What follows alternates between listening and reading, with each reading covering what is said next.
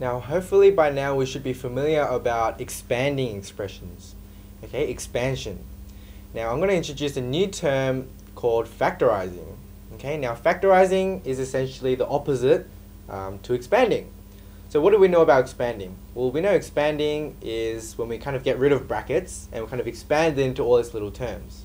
Okay, so going that way is expanding. So going from this form and multiplying it all out, expanding into this form. Now the opposite to that, we're going to learn about factorizing today. Okay, now factorizing is the opposite to expanding, where we're going to go from this form and we're going to collect our factors and write it in a form like this. So this is my factorized form. Now as you can see from the word factorizing, we have the term factor. Okay, so that's what we're doing when we're factorizing. We're collecting the factors that they both have a, and we're collecting the factor out there, and then writing the rema remaining terms like this. So again, this from this from this stage to this stage, we call expanding, but from the reverse way, we're going to call uh, factorizing. Okay, so they're two opposite um, terms. So now that we know how, now that we know about factorizing, let's try and apply it to real um, questions. So if we take a look at um, the first question here, okay, we have factorize 2a plus 6. Okay, so how do we start?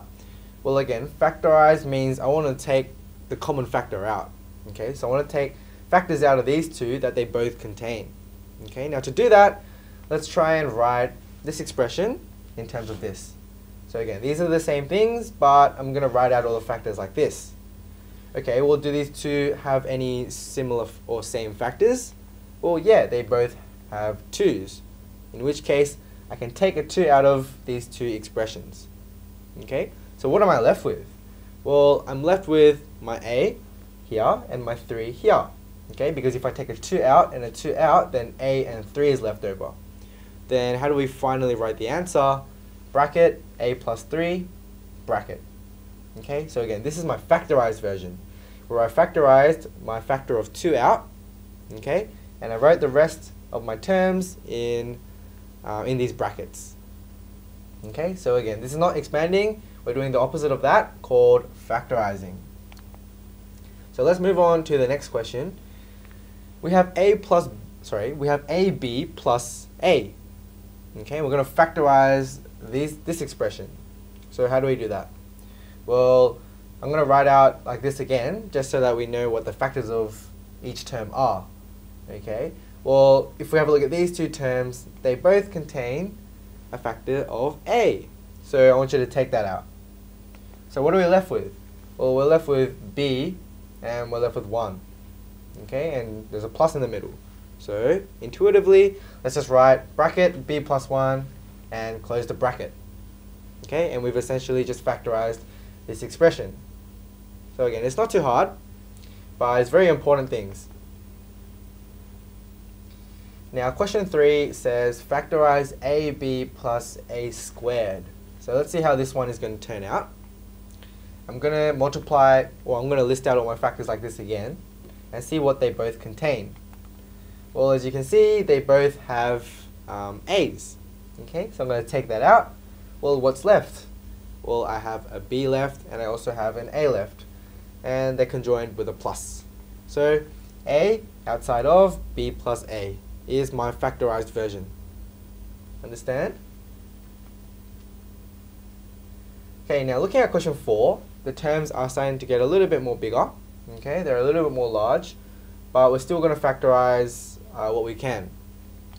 Now looking at the factors of um, each of the terms here, a times b times c, and what we have here.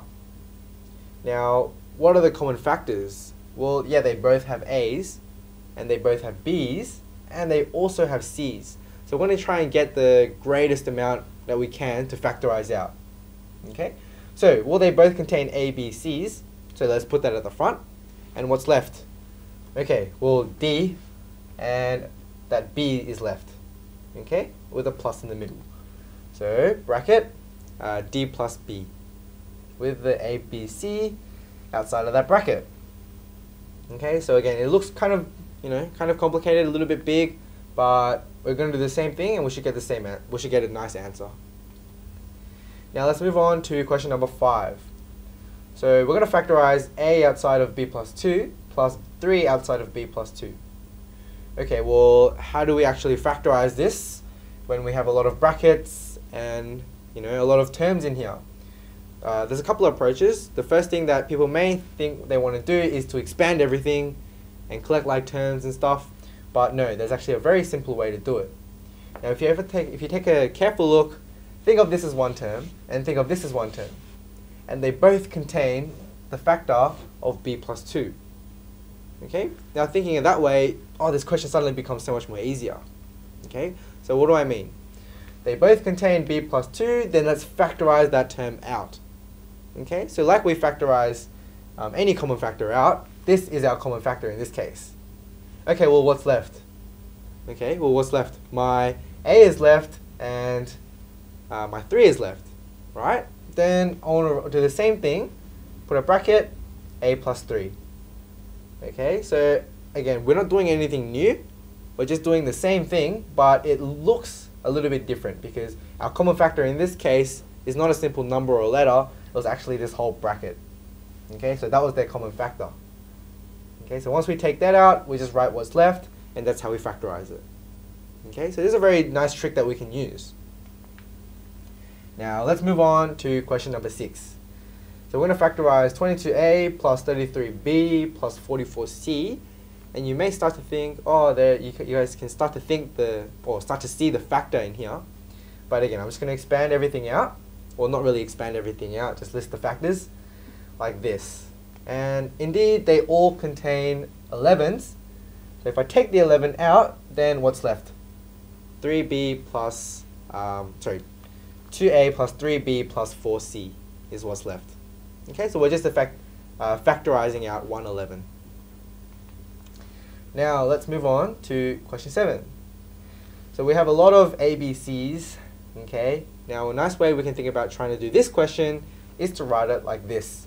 You don't have to, but if it helps you, then I want you to write it uh, like this.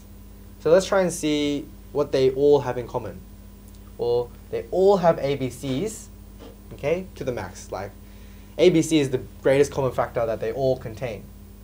Now we take an ABC out of here, we're left with one A. Take an ABC out of here, we still have one B left. Same thing here. We still have one c left.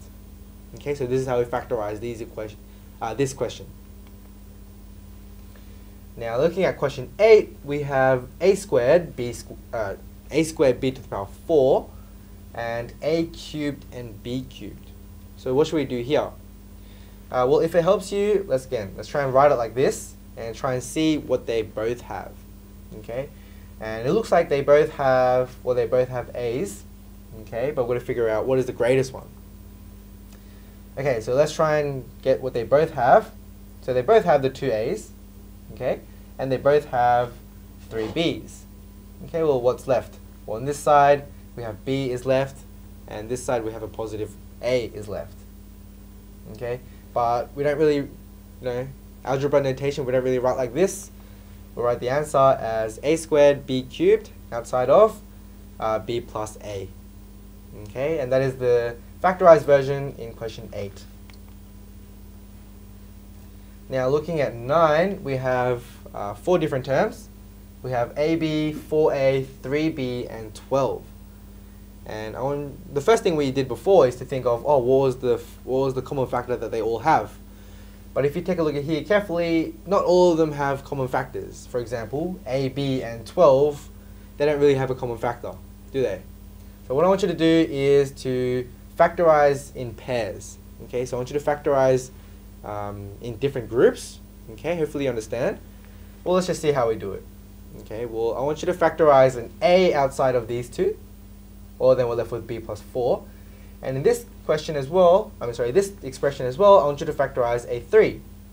If I factorize a 3, I'm left with a b, and I'm left with a 4. Okay, but we're not done yet we can even factorize further. Now we have two terms here pretty much, and they both have a factor of b plus 4. Okay, well if they have a common factor of b plus 4, let's take that common factor out. So if I take that common factor out, what am I left with? a plus 3. Okay, so b plus 4 outside of a plus 3 is my factorized version.